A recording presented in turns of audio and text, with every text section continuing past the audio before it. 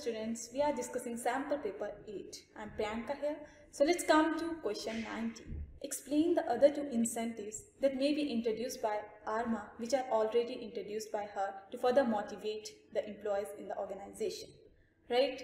So which chapter? Where we have studied about incentives. In the chapter, directing. And here you will be given half mark for heading and one and a half mark for its explanation. In total, 2 plus 2 equals to 4 marks. Now let's go through the case study. Arma is the chief executive officer of a reputed company.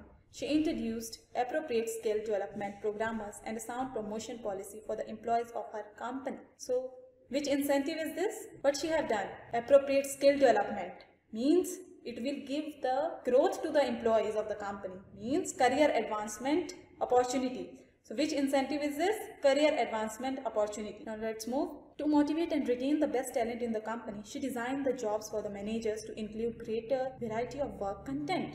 She has increased the work content. So means which incentive? Job enrichment. Now we have to write other than these incentives.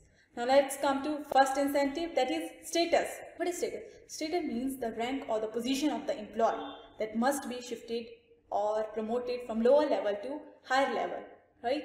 This is the status. And second one we can say bonus. Yes bonus is basically the amount which is paid to the person or the employee other than the salary right? Now let's see how we will write it in exam. Status. In the organizational context Status means ranking of positions in the organization. The authority, responsibility, rewards, recognition, perquisites, and prestige of job and indicate the status given to a person holding a managerial position. Psychological, social, and esteem needs of an individual are satisfied by status given to their job.